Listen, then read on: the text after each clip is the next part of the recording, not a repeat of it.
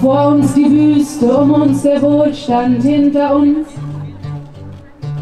Jahre vertaner Zeit und fehlender Taten. Jahre des Zögerns, man kannte die Fakten und war nicht bereit. Aber jetzt können wir nicht mehr warten. Und damit, hey Leute und herzlich willkommen zu diesem neuen Video. Und heute ähm, dachte ich, ich mache mir, ich, ich mache einfach wieder einen Vlog, aber nicht irgendeinen Vlog, denn vor circa zehn Monaten habe ich schon mal einen sehr ähnlichen Vlog wie diesen hier gemacht.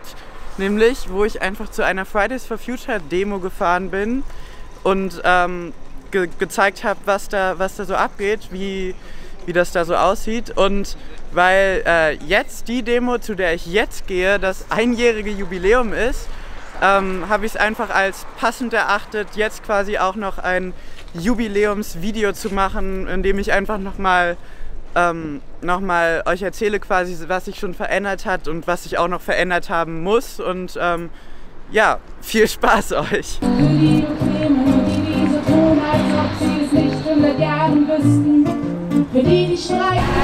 Okay, also ich höre auf jeden Fall schon was. Hier ist die, hier ist die Demo und da gehen wir jetzt hin. Hier stehen wir wie die Maus vor dem Mähdrescher und haben aus, dass es uns überrollt. Die Maschine ist gierig nach Wachstum, keiner lenkt, keiner hat so gewollt. Sie läuft wie von selbst und so effektiv und da kaum einer gerne verzichtet, läuft die Maschine halt weiter. Die alles verwertet. Ich habe vor Ort bei der Klimakonferenz erlebt, dass die Klimakrise dort überhaupt nicht angekommen ist. Keine Wahl, rufen die Mäuse und graben sich ein. Wenn sie rauskommen, ist alles staubig und kahl. Der Planet kann uns alle ernähren und er darf niemandem gehören.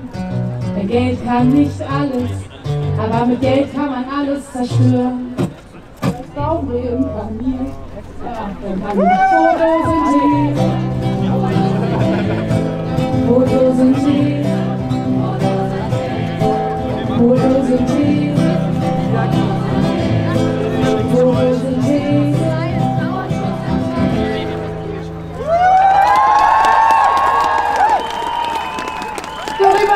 Hier? Kommt alle mit. Nehmt die Leute mit, die auf der Straße gerade längs laufen. Das sieht wunderschön aus. Hörst du, wie die Welt sich dreht? Hörst du, wie sie untergeht? Und du weißt, es ist viel zu spät und so kann es nicht weitergehen. Hörst du diese Klänge? Heb deine Hände! Wir laufen gegen den Gleichschritt. Fortschritt muss nicht immer vorwärts sein. Diese Welt, sie gehört nicht uns allein. Wir sollten eins sein. Gemeinsam Ja, hey. So, wo unsere Teile sein. Hörst du diese Zeilen und verstehst, was sie meinen? Versuch dich zu befreien, den Weg zu wählen und dein Auge zu zeigen. Wenn du weißt, was gut und was böse ist Und du weißt, dass du mit Schuld bist an allem, was scheiße ist Und du weißt, du kannst nichts ändern, weil du ganz alleine bist Und wenn, dann was sollte man zu ändern? Es gibt viel zu viel, zu viel Druck, kein Betrieb, keinen Ansatz Der ernsthaft wirkt und verspricht Millionen tun das unter uns nicht alles zusammenbricht Und daran glaubst du leider selber nicht So spazieren durch die Welt. Jeder Einzelne als ein persönlicher Anti-Held. Und so spazieren wir durch die Welt. Hörst du diese Klänge? Wir sehen, wir darf jetzt tanzen Hörst du diese Klänge?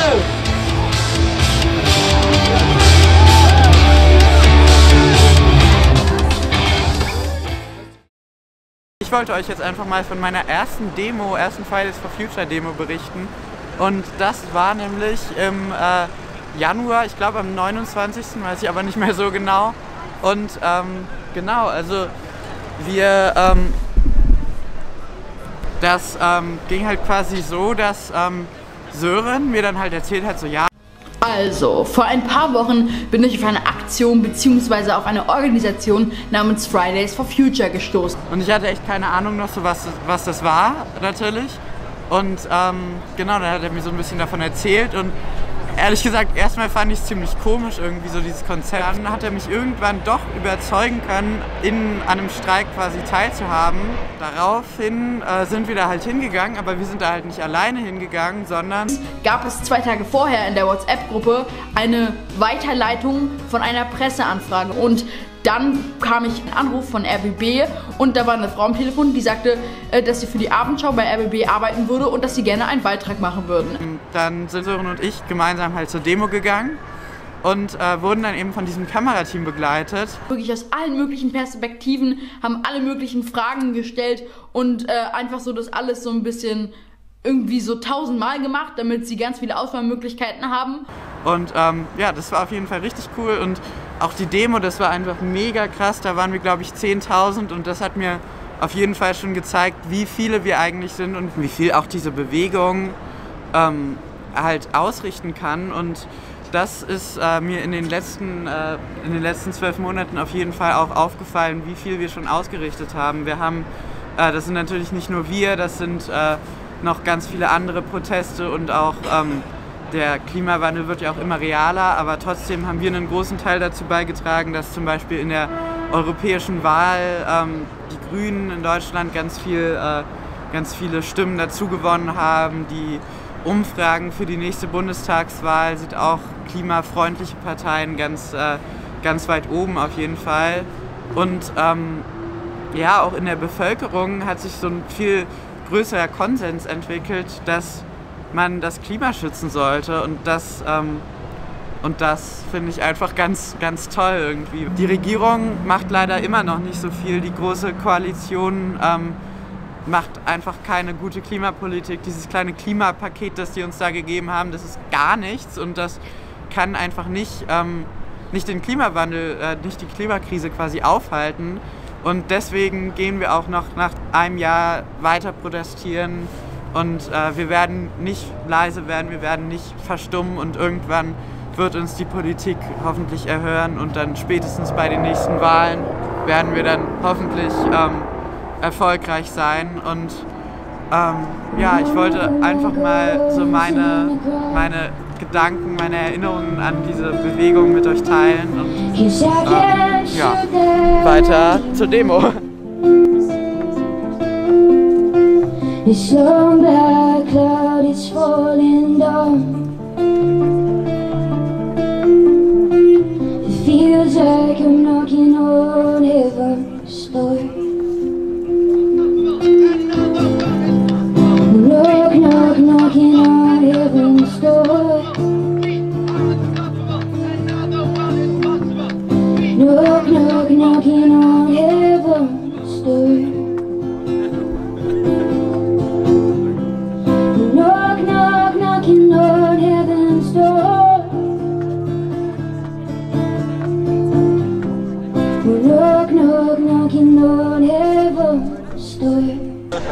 streikst du schon? Ähm, streiken, glaube ich, seit Februar mehr oder weniger regelmäßig. Okay, cool. Und äh, warum findest du es wichtig, hier zu sein? Weil es um unsere Zukunft geht und ich glaube, ich kann jetzt nichts sagen, was nicht schon gesagt wurde. Aber weil ich mit dem Klimawandel das jetzt schon seit Ewigkeiten mitbekomme, aber jetzt auch bemerke, dass es wirklich aktiv irgendwas dagegen, beziehungsweise nicht dagegen getan wird, aber in den Köpfen der Menschen drin ist und genau das muss es halt sein. Dass es halt wirklich alle Menschen auch mitbekommen, wie groß die Gefahr tatsächlich ist. Das hier ist übrigens Sören Z und er möchte bei meinem Blog mitmachen. Ich wurde gezwungen. Hallo, ich bin Sören. Bin seit der aller, allerersten Demo bei Fridays for Future dabei. Es war voll der coole Tag hier.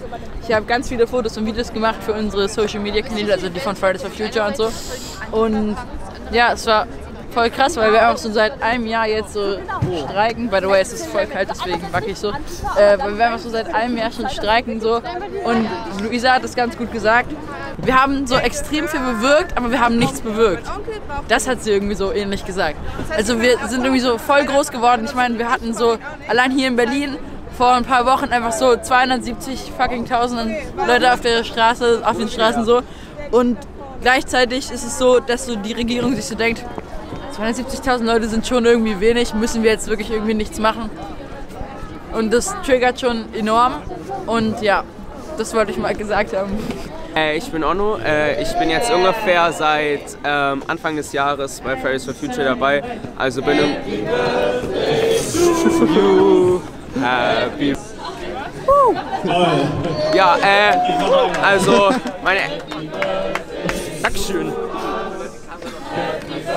Dauert kurz, aber gleich, gleich bin ich fertig. Und jetzt haben wir noch eine Band, die vierte heute schon.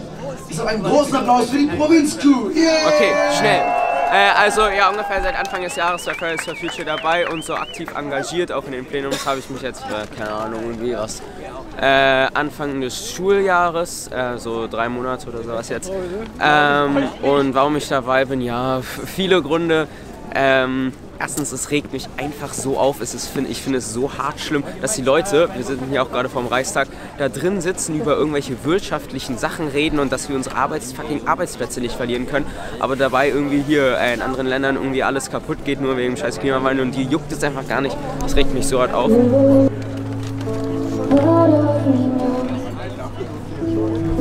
Won't you make me I said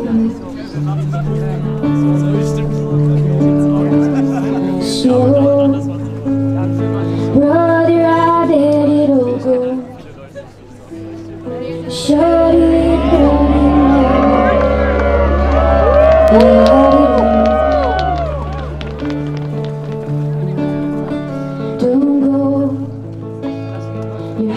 das hier, das ist eine lebendige Demokratie und die gestalten wir jeden Tag. Dankeschön. We had it almost. I've been low, but tell me that it don't show. It was ever a moment. Wir blicken auf ein Jahr zurück, was die Gesellschaft transformiert hat, aber die Politik nicht.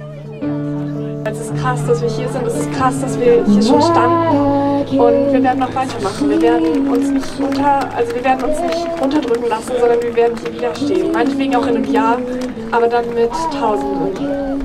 Danke euch.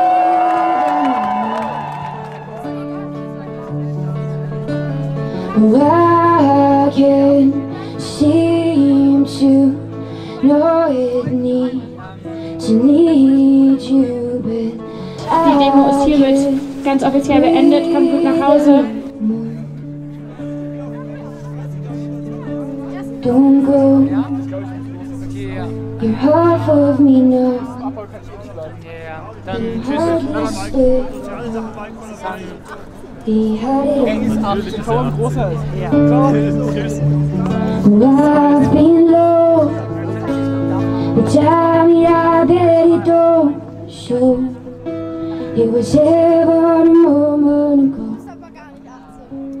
We had it almost.